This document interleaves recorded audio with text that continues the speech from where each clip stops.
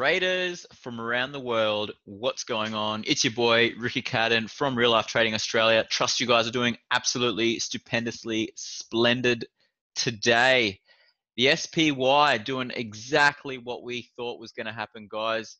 Um, I did speak about this on Tuesday, saying that most likely we would come back down to the 20 or the, the 10 or the 20 and most likely bounce. Um, in the afternoon room, actually, with in, in real life trading, we did speak about there being a gap down and then most likely fading higher. So if you were a part of the real life trading room and community, you would have known exactly what to do today when we opened up at the markets. Uh, if I just take a look at the five, I'll take a look at the intraday. I want to show you how I played the SPY today. Did not make that much of a gain personally. Um, so here's how I played it. I'll just unhide these drawings. So as you can see, actually I'll hide them first. So as you can see, at the start of the day, we had this beautiful bearish high wave candle. So what I was actually looking for was a push higher and then a retest of this high wave candle and then I was looking to buy. So I had a limit buy set up at 20 uh, 297.30. Now this particular trade was only done with half an hour. Um, I was looking to leg into this position. And so how I traded it is came in, put half an hour on the table, stop all the way down here, and as soon as we broke out of this cute little pennant here, I was looking to add uh, add on to my position, so doubling my position here. Now my target, believe it or not, was actually up up, up here at 299. Um, we did get there by the end of the day, however. I personally did get trailed out for a, a little 0.3 R gain right here. Um, so as you can see here, we did have a tweezer top pattern right here with both the highs of these candles being 298.12. So as you can see, we did actually fade higher eventually. Um, personally, I was just a little bit too early, but all I did was put the trade on as soon as this broke out of the pennant, increased my position and moved my stop to a uh, 0.3 R 0.3 R profit um, because at this stage right here I was actually up 1.3 R. So in my rules, I cannot lose on a trade if the trade has gone more than one R. I just have to lock in some sort of gain, and I mean, not overly upset. If I did hang around, I would have seen this amazing buying location right here. If you take a look at the 15 minute, um, if you take a look at the 15 minute, this really was the lows back here. So SPY, glorious, glorious bounce. And if you take a look here, we did have a beautiful evening star reversal pattern. So SPY definitely looking to go higher. Um, and like I said, stay bullish on the markets. If you're wondering where I think the markets will go, um, I'll just get rid of these drawings quickly and I'll do some quick fibs. So from here, uh, we did expect to have a little pullback here. So from these lows to the, the swing high to swing lows, 305.18. And just to confirm that, I will uh, just take a little swing high, swing low here. And as you can see, that is the, the pretty much the 2.5 retracement. So from here, 305, 20 is my target to on the SPY. Anyway, enough about the SPY. Here's the DIA, Dow Jones. We did come back and close this gap yesterday and, oh, sorry, today. And as you can see, we did come straight down to the 10 and bounce. So keep staying bullish on the markets, guys. Um, like I said, it's not going to be the very top of the market just yet. Um, I don't see anything in particular um, screaming that we're going to roll over just yet. Here's Footlocker, ticker symbol FL, and very good to see we are actually getting some increasing volume we are getting some increasing volume down here at this support level at 4081. If you take a look at the long-term moving averages, um, take a look at the long-term moving averages, we are quite a well away, but on the weekly chart, uh, sorry, on the monthly chart, we are in between the 100 and the 200. Personally, I would have liked to see this come down to the 200. I think that would be an absolutely amazing buying opportunity. Um, but on the daily, with the increasing volume coming in right here and hopefully breaking out of this little tiny little wedge here, this will most likely look to bounce and close this gap. So FL, um, fairly neutral, but I would not be surprised if we bounce here. Here's Shopify, aka Moon Lambo, um, back up to 331. I still, we do have earnings right around the corner, guys. As you can see here, um, earnings is reporting on the 1st of August. So, personally, I think we will get a gap down, quite a large gap down on Shopify. I'm not bearish on the company at all. Um, I just I guess I'm, I, and I will be I will be having a small speculation on that particular trade. Um, but realistically, I want to buy Shopify as low as possible. Um, it, however, if we do get a gap up, I mean, we are most likely going to go to 400. So Shopify looking super bullish. Short-term moving averages just still have not hit the 50. Um, it has been a while, so that's why I'm not buying up here. I am looking for a, I am looking for a better buying location. Um, but keep being bullish on Shopify short term, but earnings just around the corner. So keep your eyes peeled. Here's Square now. Just on the long-term moving averages here. So I did speak. I have been speaking about this since, well, basically since here, but when around here, I did say that most likely we will get a quick push up until $80, and then we'll probably chop around here and then have one more push higher. I don't know how high we're going to go. I'm hoping my target is 100. Um, we may only push to 90 if we do get a nice gap up above these highs. Um, but I am keeping a close eye on Square. Does still look bullish, um, just along with the rest of the markets, but um, if you are in Square, keep holding. Earnings coming up just around the corner. And uh, yeah, be excited. Speaking of earnings, Netflix rep- reporting earnings today, and what an amazing gap down. We did not gap, we actually gapped down below this level, so I was not going to play this bullish, and we didn't gap above here. So from here, guys, I am quite neutral. Um, if you take a look at the weekly chart, I still do believe that we will come back to fill this weekly gap, and that will coincide with the 100 uh, simple moving average on the daily. So, I mean, oh, sorry, on the weekly. So, Netflix is pulling back a little bit. We do have a beautiful high wave candle on the daily chart.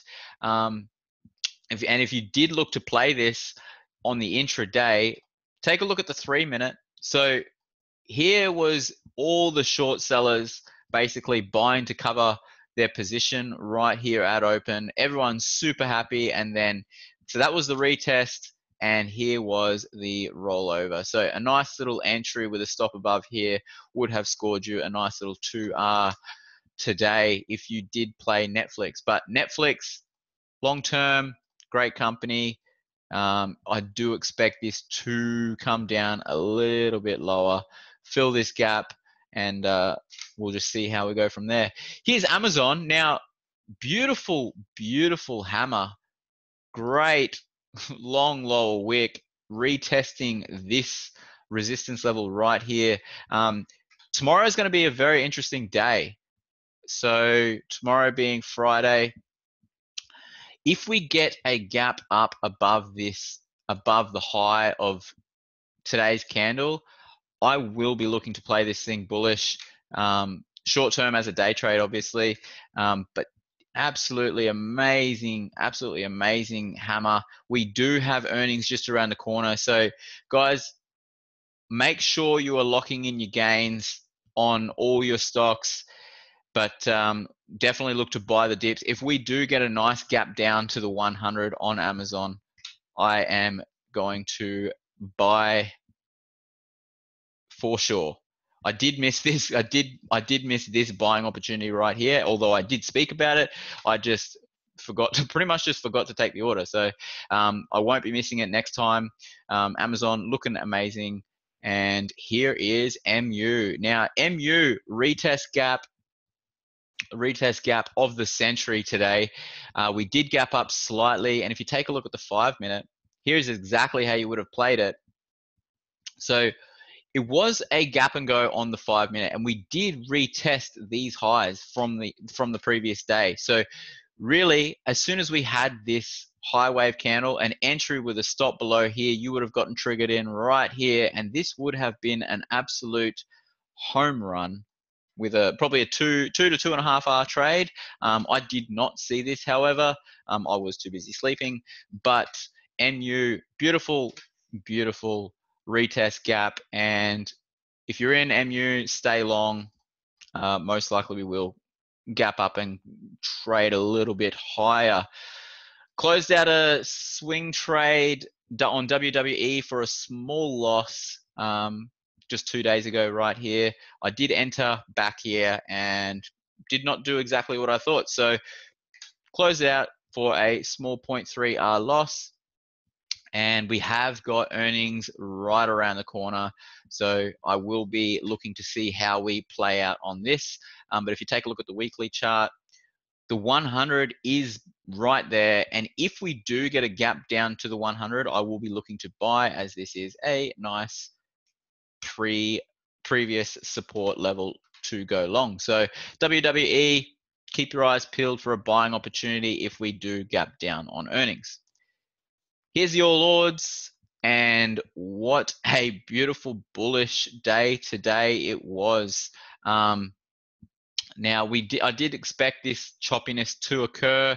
I am hoping for this to continue into the new all-time highs, but all odds, guys, just be bullish um, by the dips.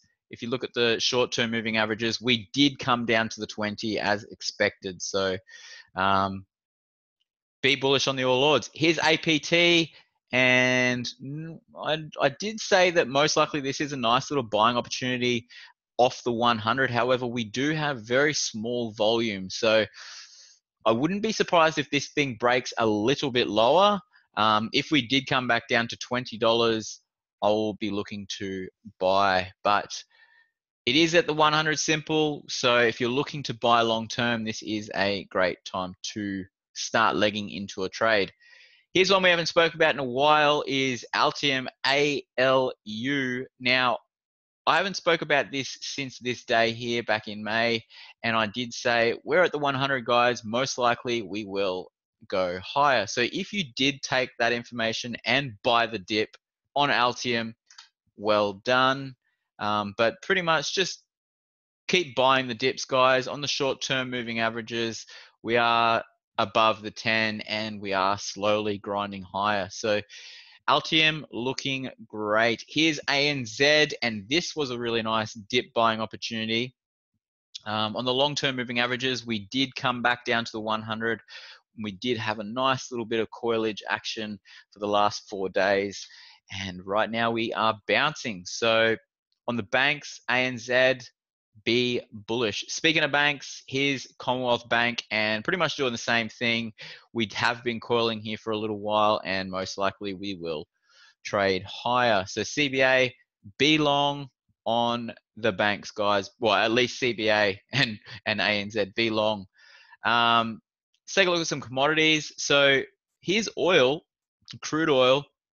Now, pulling back some, we have still been consolidating in this little wedge here.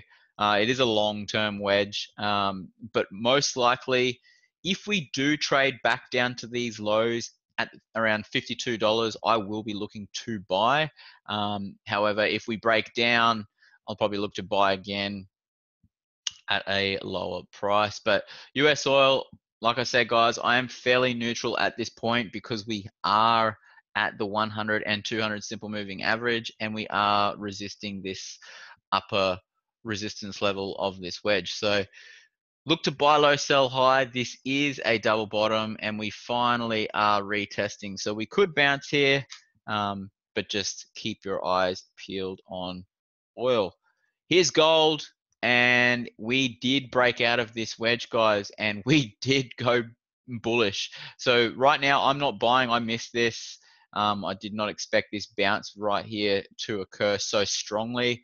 Um, but if you take a look at JNUG, which is an ETF that tracks gold, we just absolutely have been screaming bullish for the last two days from $65 all the way up to 86 would have been an absolute home run of a trade. Um, but all in all, like I said, guys, be bullish on gold. Now's not the time to buy. Uh, just keep looking to buy the dips. Um, if we do get a if we do get a quick little dip, I will be looking to buy gold.